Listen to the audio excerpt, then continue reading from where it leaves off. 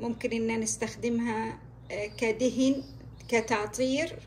نضعها في تولات مثلا زي كذا ونستخدمها كتعطير نبيعها ممكن إن نستخدمها للبخور ممكن إن نستخدمها للعطور كذلك ممكن إن نستخدمها للخمريات وكافة المعطرات.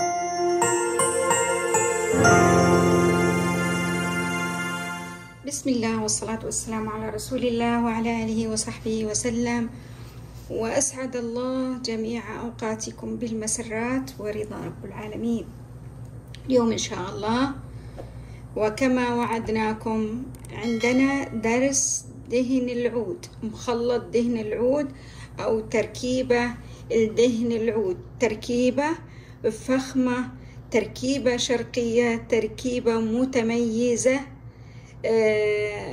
من أروع أنواع التركيبات اللي ممكن نعملها الدهن العود. ممكن إن نستخدمها كدهن كتعطير. نضعها في تولات مثلا زي كذا ونستخدمها كتعطير نبيعها. ممكن إن نستخدمها للبخور. ممكن إن نستخدمها للعطور كذلك. ممكن إن نستخدمها للخمريات. وكافة المعطرات. نبدأ على بركة الله. بسم الله الرحمن الرحيم. عندنا المكونات. ولو تلاحظون إني ما تقيدت بشركة معينة للزيوت عندي اخترت من كذا شركة. فما تقيدوا أنفسكم بأي متجر أو أي مؤسسة أو شركة معينة للزيوت. اللي يناسبك استخدميه. بسم الله الرحمن الرحيم. نبدأ في قياس الزيوت. في البداية نتعرف على الزيوت. آه زيت أو دهن عود إكس آه ألف ليلة وليلة. ودهن عود هندي سوبر. دهن عود هندي سوبر. وراح نستخدم قطرات قليلة جدا من المسك الأسود.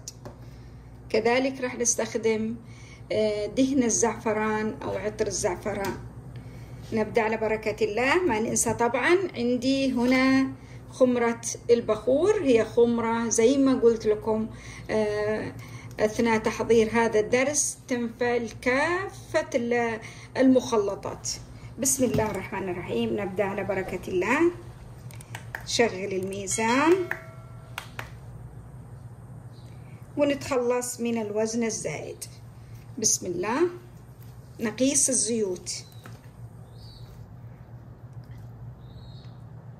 بسم الله الرحمن الرحيم. راح ناخذ منه تقريبا ثلاثين جرام.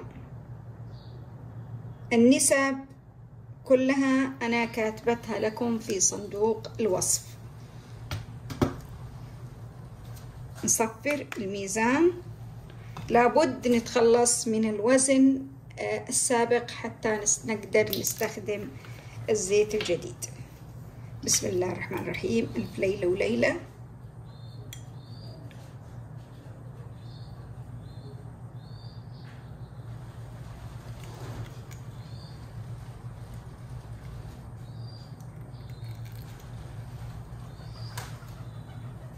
نتخلص من الوزن الزائد. ونستخدم الزيت الآخر. بسم الله الرحمن الرحيم. هي كلها أدهان عود مختلفة التركيز والنكهة.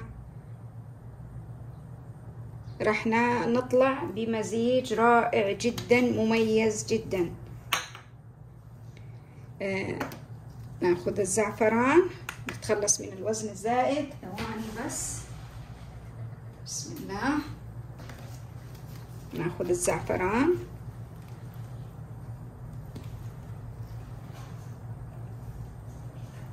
الزعفران الأحمر. أنا استخدمت الزعفران الأحمر.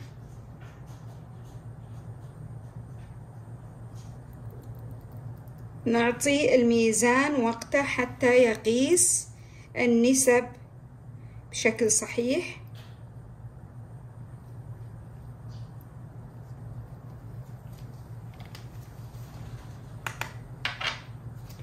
ونأخذ من المسك الأسود مثل ما قلت لكم قطرات. انتبهوا المسك الأسود آه، تقريبا ما في مخلط ما يخلو من المسك الأسود لأنه يعطي قوة ثبات عالية جدا. لكن مجرد لو تزودي نقطة واحدة أو قطرة واحدة راح يعدم لك الشغل كله. فانتبهوا من إضافة المسك الأسود. أعيد وأكرر انتبهوا من إضافة المسك الأسود. إضافته ضرورية لكن انتبهوا للنسبة. ناخذ قطرات بسيطة جدا. شوفوا. واحد. اثنين ثلاثة أربعة خمسة ونكتفي. خمس قطرات فقط خمس قطرات فقط من آه، دهن العود. نقيس الخمرة أو المثبت. بسم الله الرحمن الرحيم. نأخذ القليل جدا من الخمرة ما نبغاها تأثر على رائحة العود. شايفين تقريبا نصف ملي نصف بلي أو نصف جرام. نصف بلي أو نصف جرام. بسم الله. نبدأ الآن في مزج الزيوت العطرية. نبدأ الآن في مزج الزيوت العطرية بعد ما آه، قسنا النسب. الآن نمزج الزيوت العطرية. جهاز المغناطيس. ما عندك جهاز المغناطيس ما في أي مشكلة. ما في أي مشكلة. ممكن إن نستخدم آه هذا الخاص بالقهوة. ممكن إن نستخدمه. ممكن إن في اليد آه نمزج بشكل جيد. بسم الله الرحمن الرحيم. نبدأ في مزج الزيوت العطرية. نتركها لمدة تقريبا ساعة كاملة. لو تلاحظون الزيوت العطرية ثقيلة أي إن هذا آه، المخلط آه، يعتبر من الزيوت المركزة. من الزيوت المركزة آه، نتركه لمدة ساعة نخفق ونمزج الزيوت ثم بعدها نضعها في الزجاجة ونخمرها لمدة ما تقل عن شهر. مدة ما تقل عن شهر بعدها نستخدمها بشكل عادي جدا. نأخذ منها النسبة اللي نبغاها إذا كنا نبغى نعمل عطور نأخذ منها النسبة آه، اللي نحتاجها إذا كنا نبغى نعمل آه، بخور آه، اللي نخففها إذا كنا نريدها للعطور نخففها بالإيثانول.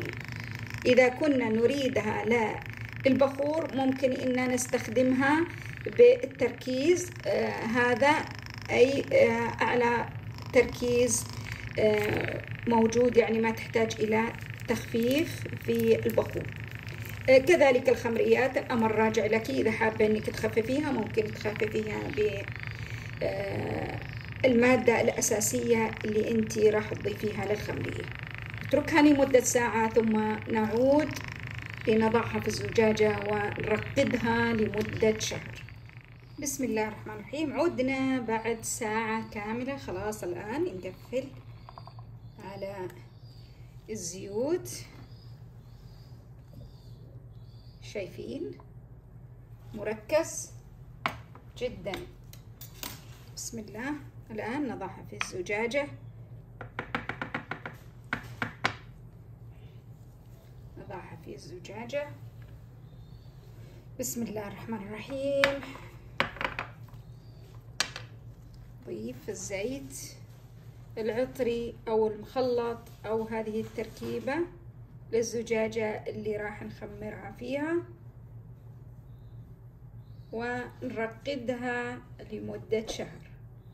نرقد لمدة شهر. طبعا آه، اللي شايفينه هذا هذه فقاعات الهواء من الخفق. راح آه، تواني وتختفي. الآن أصبح ترك أصبحت تركيبة دهن العود جاهزة تركيبة فاخرة جدا وزي ما قلت لكم للعطور للبخور للخمريات لكافة المعطرات. إن شاء الله يكون الدرس سهل ومفهوم وواضح. وأي استفسارات أنا موجودة معكم وأستودعكم الله الذي لا تضيع ودائعه.